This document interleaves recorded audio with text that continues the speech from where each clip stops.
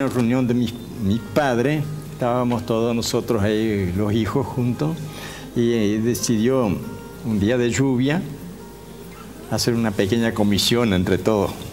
Éramos siete hermanos, mi padre y mamá. Y A cada uno le tocó una tarea. Sí, y a mí me puso para medir. Como yo era siempre entusiasmado, medio... Le gustaba ya. Sí, me gustaba todo esto, el asunto de lluvia, las nubes, todas esas cosas. Decidí, cuando me nombró, seguí. Usted tiene, tiene todos los cuadernos guardados en su casa. Sí, sí. Desde el año 1942. Acá hay un dato interesante sobre la caída de granizos.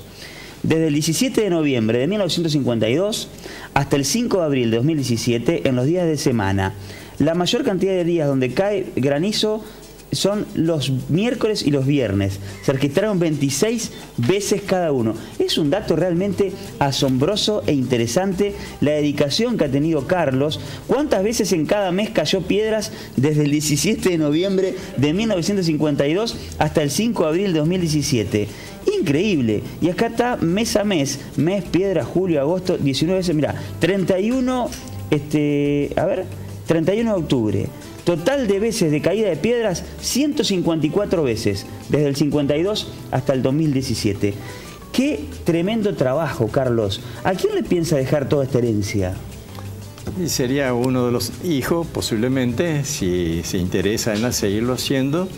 Y si no, será un hermano que te- me queda todavía. ¿Cuál es el dato que más le llama la atención de este registro diario para usted? Que le ha llamado la atención estos 77 años de registro artesanal. No, siempre me gustó la lluvia, todas esas cosas, y observar el tiempo, en fin, eh, las nubes, por ahí me fijaba de las nubes como son, entonces siempre marcan alguna lluvia, este, o mal tiempo, o, o los hornos de ladrillo, muchas veces los humos, cuando muchas veces bajan, entonces quiere decir de que hay baja ¿cómo?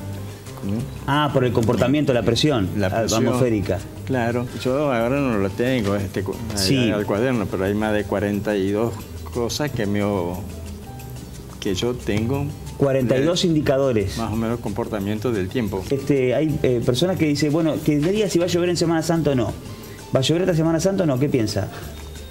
Me parece que a pesar de todos los anuncios de lluvia, como el tiempo amanece con neblina, ¿vio? Se neblina, cosas así, se, más vale se descarga en humedad Entonces no va a llover. y puede zafar hasta el sábado o domingo.